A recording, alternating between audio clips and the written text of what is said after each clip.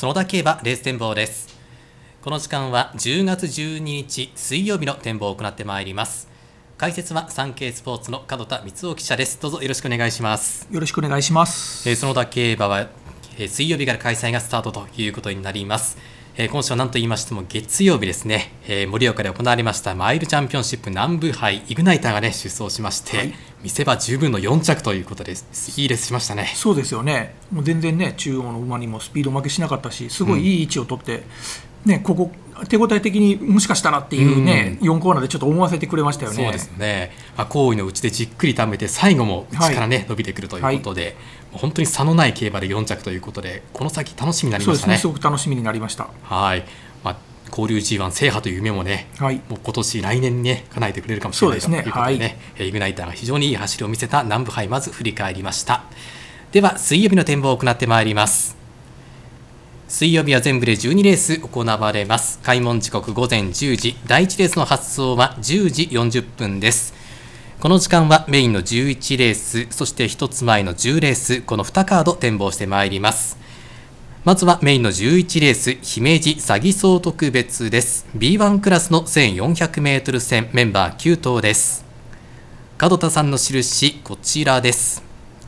本命は9番の名村小町に打たれました。B2、B1 と2連勝中の馬。まずこの馬からということですね。そうですね。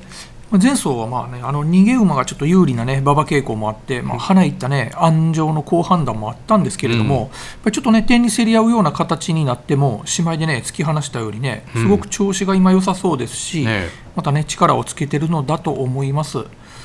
まあね、ロスなく立ち回る器用さがね長所なので、うん。まあ、内枠の方がね良かったとはいい思うんですけれども、まあ、実際4走前にね外枠からねすぐ内へ潜り込んでいはい。い競馬をしたことがありますし、うん何よりね、まあ、勝って同条件なら、まあ、ここも崩れることはなうん。く走ってくれるんじゃないかなと思います。はい。まあ、あとは斤量が1キロ増えて55キロというところそこだけですかね。そうですね、まあ、2走前にね、まあ、負けたとはいえ、まあ、2着になってますし、うん。まあ、今の状態なら問題はないとは思います。はい、そして安城選手も本当に勝ちまくった吉村ジョッキーというところで、非常はいに不気味な存在です、えーそして対抗が8番の2年 B 組です、まあ、こちらは3歳の重賞2勝した馬、まあ、今回4ヶ月休んでの復帰戦ということになります。はい。まあね、限定戦とはいえね、重賞2勝してる馬でね、実績ありますからね、まあ、コバ相手になりますけれども、まあ、B1 ならまあ通用していいと思います。うん。まあ、農研をね、見ててもね、まあ、体がね、増えていたようにね、うん。まあ、休ませた効果も十分見込めると思いますし、うんまあ、このメンバーでもいきなり走れていいのではないかなと思います。はい。まあ、あの休み休んでゲート試験を受けた時には449キロということで、まあ、重賞を勝った時は410キロ台でしたのでね、はい。オファーにね体増そうですよね、やしてこられたと。まあ、体が、ね、増えた方がいいと思ってたので、うん。まあね、あの当日のまあ馬体を見ないとわからないんですけど、はい。まあ、増えたのは絶対いい方に向いてると思います。すね。はいはい、まずは8枠2頭が本命対抗。そして3番手が1番のチェリーオリオンです。えこちらは中央から再転入2戦目、まあ、レースは4ヶ月ぶりと復帰戦になります。はい。まあ、これね、ちょっと再転入線のね、ちょっと前走が人気ほど走れなかったんですけれども、まあね、転出前にね、いい内容でこちらで勝ってますし、ね。まあ、前走は永遠に、今回 B1 なんで、うん。まあ、高級すればね、もっと走れていいのではないかなと思います。はい、またね、前走からちょっと間隔が空いたんですけれども、まあ、逆にね、立て直すうん。せたっていうことを考えるとね、いい方に出る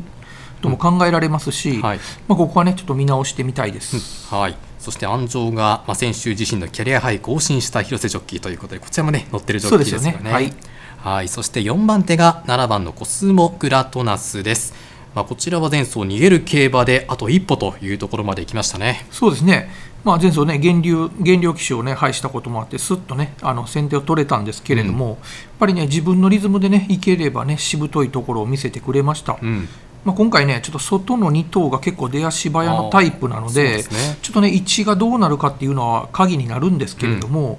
まあ、これ、2頭がね、すっといって、揉まれずは運べるならば、うん。まあ、前走ぐらい走れても不思議ないと思います。はいそして最後の白三角が3番のインバネスです。こちら中央から転入2戦目。前走6着でした。はい。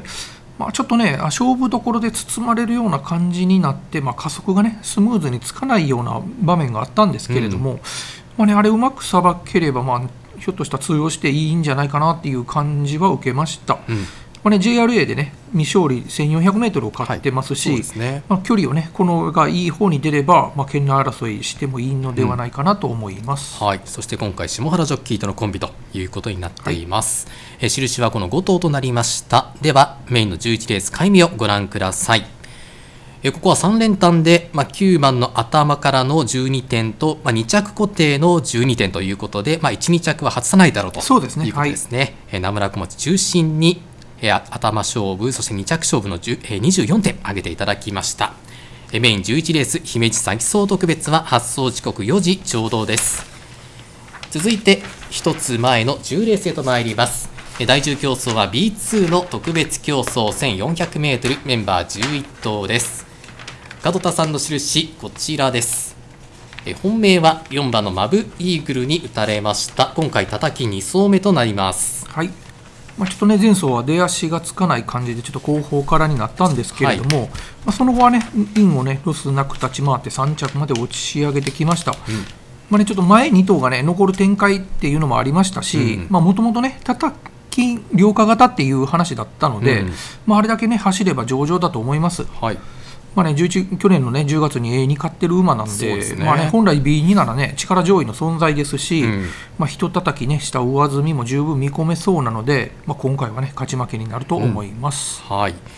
そして対抗が11番のビケットです。まあ、こちらは4戦続けて2着ということで、本当に惜しいレースが、ね、続いてますね。そうですよね、ずっとね2着が続いてるんですよね、まあ、前走はね、まあ、外目の枠ということで、まあ、気合いつけて前へ取りに行きましたけれども、うん、まあね、あのちょっとね、あの勝ちパターンの競馬できたと思いますし、うん、まあ、ちょっと前走に関してはね、相手が悪かったかなという感じでした。はいまあね、内枠の方がねいいっていうふうにまあ陣営はちょっとおっしゃってるんですけれども、うん、実際ね外枠でも走れてますし、ね、まあ、大きな割引にはならないと思いますし、うん、まあ、今回もね堅実に走ってくれると思います、うん、はい。そして3番手が3歳馬6番のアンさんです。まあ、前走 B2 戦は10着と崩れてしまいました、今回、距離を専用に戻すというところですね、はい、そうですね。ちょっとね、前走が走らなさすぎなんですけれども、うんまあね、これだいぶ改善されてきたとはいえやっぱりちょっとね折り合いのもともと難しい馬でしたから、うん、やっぱり1007のね外枠っていうのがちょっとあんまり条件的にあまり良くなかったのかなと思います。まあね、1004ならねもっと出していけると思いますし、うん、まあ、これ条件代わりでねちょっと見直してみたいところです、うん、はい、そして4番手評価が7番の名将小萩こちら C1B2 と2連勝今勢いに乗ってますね。そうですね、まあ、前走はね、まあ、6頭立てでしたしね。ちょっと前が止まらない馬場も味方したのは間違いないんですけれども、うん、まあ、それにしてもね強かったですよね、はい、走前の立ち回りも完璧でしたし、まあ、調子の良さが伺えます、うんはい、今の状態ならね、まあ、1キロ増でも崩れることはないんじゃないでしょうか、うん、はい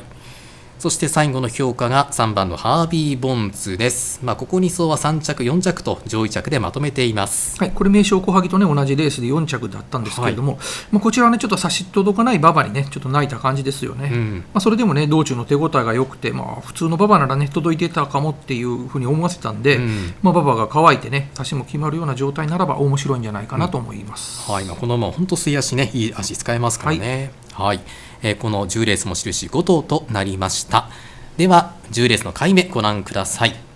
ここも3連単で4番マブイーグルの頭12点とで2着固定の12点ということでここも手広くということですね。すね。はい、はい、第10競争の B2 特別戦は発送時刻3時25分となっています。水曜日が開催がスタートということになります、まあ、ちょっと開催前ね、少し雨が、ね、降ることもありましたけどもね、ね。はい、まあ、馬場状態、どこまで回復しているかというね、ちょっとね、気温が、ね、上がらないよ